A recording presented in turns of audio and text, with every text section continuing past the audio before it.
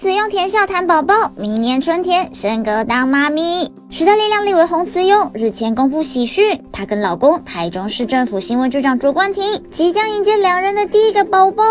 洪慈用现身立院，被问到宝宝出生后会不会影响他明年冲刺立委选举啊？这我还没有想那么多呢。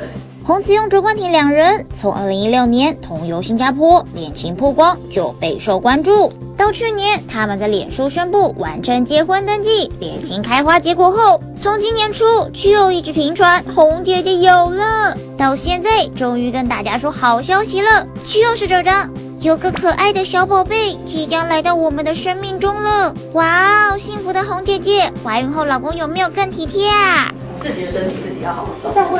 立伟工作很忙，怀孕后会不会身体不适应？